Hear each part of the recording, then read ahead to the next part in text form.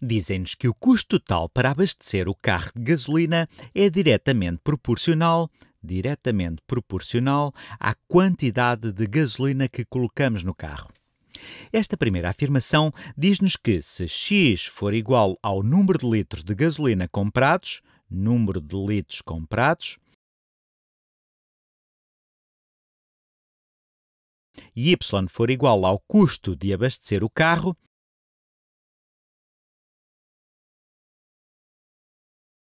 A primeira afirmação diz-nos que y é diretamente proporcional ao número de litros, a x.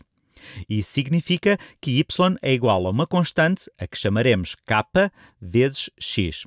É isso que significa diretamente proporcional. Neste caso, é claro que se x aumentar, y também aumentará, pelo que k é positivo. Ainda não sabemos qual é a proporção.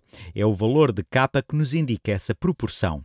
Se x baixar, y também baixará, mas é-nos dada mais informação e isso vai ajudar-nos a calcular o K. Se um litro de gasolina custar 2,25 euros, quantos litros poderíamos comprar com 18 euros?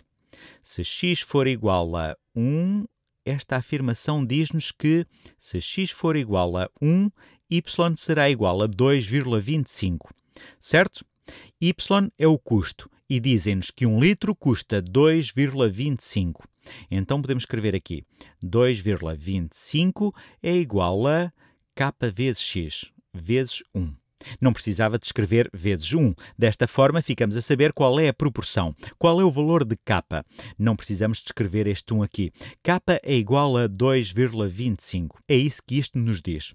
A equação que representa a proporcionalidade de y em relação a x é y é igual a 2,25x, em que x corresponde à quantidade em litros de gasolina comprados e y ao custo dessa mesma gasolina, 2,25 por litro. Mas perguntam-nos, quantos litros poderíamos comprar com 18 euros?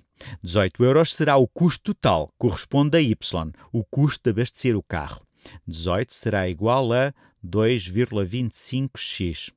Agora, se quisermos calcular x, basta dividirmos ambos os lados por 2,25. Ok, vamos fazer isso.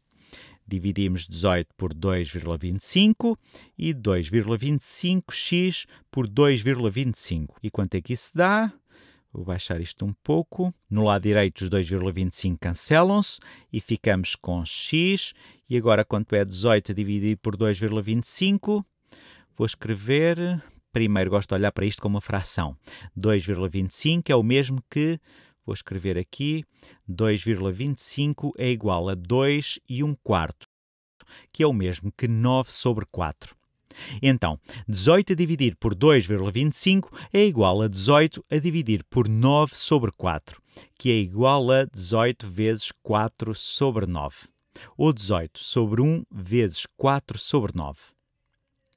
Vejamos, 18 a dividir por 9 é 2, 9 a dividir por 9 é 1. Isto simplificado dá 8. Então, 18 a dividir por 2,25 é 8. Com 18 euros podemos comprar 8 litros.